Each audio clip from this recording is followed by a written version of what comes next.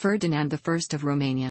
Ferdinand I, Ferdinand Victor Albert Meinrad, August 24, 1865, July 20, 1927, nicknamed Intregitorul, the Unifier, was King of Romania from 1914 until 1927. Although a member of Germany's ruling Hohenzollern imperial family, Ferdinand sided against the Central Powers in World War I. Thus, at the war's end, Romania emerged as a much enlarged kingdom, including Bessarabia, Bukovina, and Transylvania, and Ferdinand was crowned king of Greater Romania in a grand ceremony in 1922.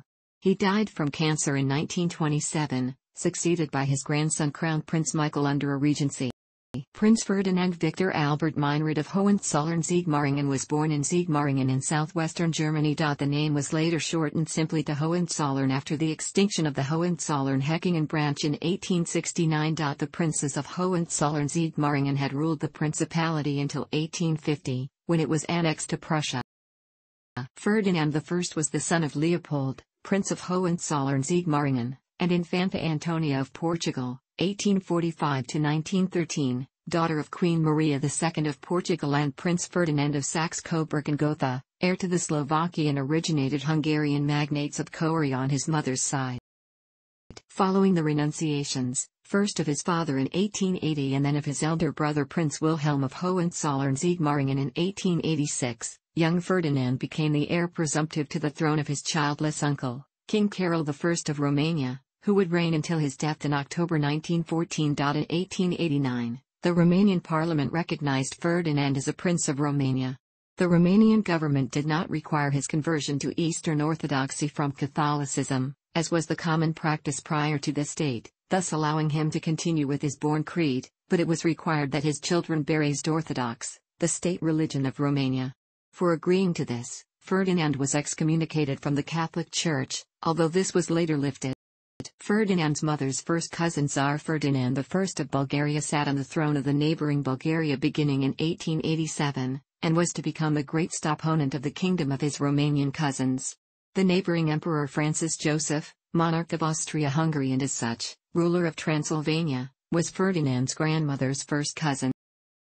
Ferdinand, a complete stranger in his new home, started to get close to one of Queen Elizabeth's ladies-in-waiting, Elena Vacarescu. Elizabeth, the queen consort of Romania, very close to Elena herself, encouraged the romance, although she was perfectly aware of the fact that a marriage between the two was forbidden by the Romanian constitution. According to the 1866 Constitution of Romania, the heir presumptive to the throne was not allowed to marry a Romanian. The affair caused a sort of dynastic crisis, in 1891. The result of this was the exile of both Elizabeth, in Neuwied, and Elena, in Paris, as well as the trip by Ferdinand through Europe in search of a suitable bride, whom he eventually found in Queen Victoria's granddaughter, Princess Marie of Edinburgh.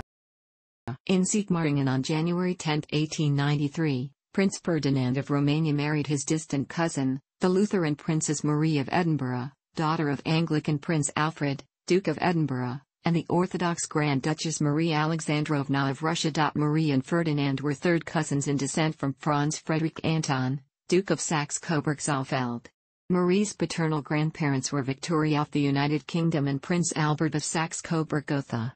Her maternal grandparents were Alexander II of Russia and Marie of Hesse and by Rhine. The reigning emperor of the neighboring Russia, at the time of the marriage was Marie's uncle, Tsar Alexander III, who would be succeeded by his eldest son, Marie's cousin, Tsar Nicholas II, the following year.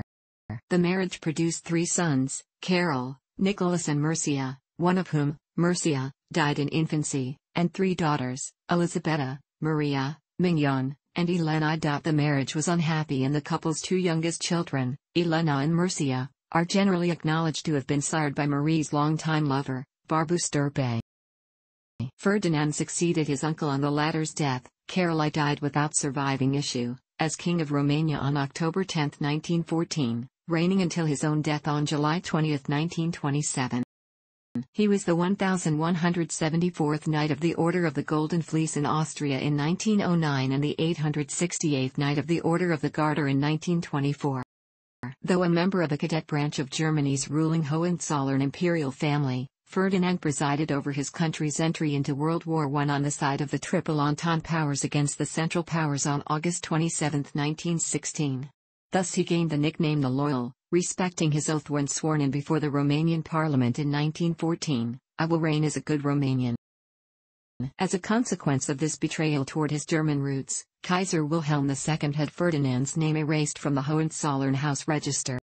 Despite the setbacks after the entry into war, when Dobruja and Wallachia were occupied by the Central Powers, Romania fought in 1917 and stopped the German advance into Moldavia. When the Bolsheviks sued for peace in 1918, Romania was surrounded by the Central Powers and forced to conclude the Treaty of Bucharest, 1918. However, Ferdinand refused to sign the treaty. When the Allied forces advanced on the Thessaloniki front, they knocked Bulgaria out of the war, and Ferdinand ordered the remobilization of the Romanian army. Romania re-entered the war on the side of the Triple Entente. The outcome of Romania's war effort was the union of Bessarabia, Bukovina and Transylvania with the Kingdom of Romania in 1918. Ferdinand became the ruler of a greatly enlarged Romanian state in 1918 to 1920 following the Entente's victory over the Central Powers, a war between the Kingdom of Romania and the Hungarian Soviet Republic, and the civil war in Russia. He was crowned as King of Greater Romania in a spectacular ceremony on October 15, 1922 at the courtyard of the newly opened Coronation Cathedral in the historic princely seat of Alba Iulia, in Transylvania. A new period of Romanian history began on the day of the Union of Transylvania with Romania, Great Union Day, Marea Unire. This period would eventually come to an end with the international treaties that led up to World War II. These ceded parts of Romania to its neighbors. As such, they are widely seen as an attempt to provoke the country into taking sides and joining the war. Domestic political life during his reign was dominated by the conservative National Liberal Party led by the brothers Ion and Vintilă Brătianu. The acquisition of Transylvania ironically enlarged the electoral base of the opposition, whose principal parties united in January 1925, October 1926 to form the National Peasant Party. Ferdinand died from cancer in Sinaia in 1927, and was succeeded by his grandson Crown Prince Michael. Under a regency. The regency had three members, one of whom was Ferdinand's second son, Prince Nicholas. Thanks for watching. Don't forget like the video and don't forget to subscribe.